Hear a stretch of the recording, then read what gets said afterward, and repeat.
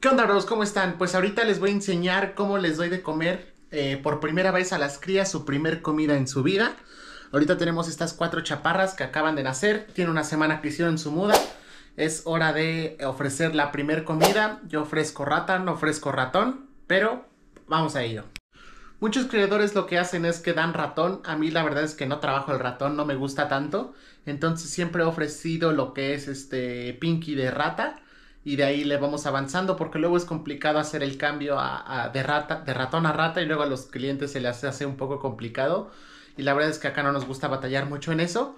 Entonces todos los ejemplares que tenemos comen rata, así que estas nenas no serán la excepción, así que les voy a enseñar cómo se, eh, de qué tamaño se los doy y seguramente las van a agarrar porque las veo ya con hambre. Este es el tipo de tamaño que utilizo en las crías de pitón bola. Eh, no es Pinky, pero tampoco es Fuzzy, es entre la mitad de esos dos tamaños. Y como ven, aquí ya están estas nenas con una respuesta bastante bien, que se ve que ya me quiere comer. Entonces les voy a intentar grabar cómo es que lo agarra.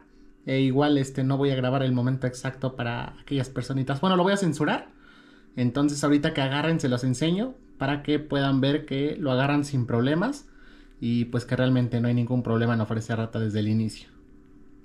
Aquí ya no les pude grabar cómo es que agarraba la rata. La verdad es que cuando son crías hay que dejarles un poco de privacidad porque como que no se animan al agarrar estando ahí o estando con luces prendidas. Ya después de unos minutos me di cuenta que pues ya habían agarrado. Comieron dos, dos no comieron, pues nada, no pasa nada. Simplemente al otro día seguimos intentando con las que no comieron.